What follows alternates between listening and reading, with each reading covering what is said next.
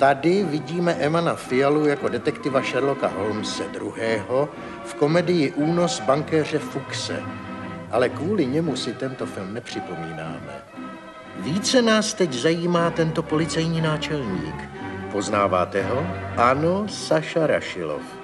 Přihrál ve filmu už v roce 1913, ale kopii, tak jako mnoho jiných, se nepodařilo nalézt.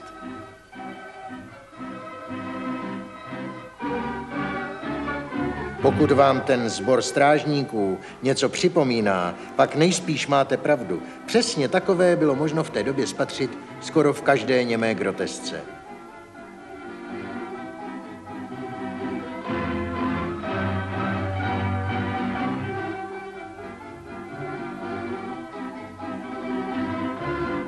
Pro Sašu Rašilova tento výlet do světa filmu asi mnoho neznamenal.